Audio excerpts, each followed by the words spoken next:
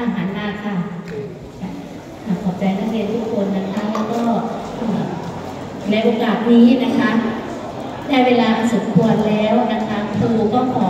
ติดการอบรมค่ายพุทธบุตรนักเรียนชั้นม .1 ม .4 ประจำปีการศึกษา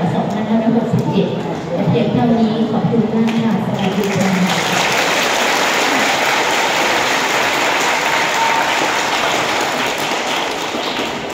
อะ นะครับ เดี๋ยว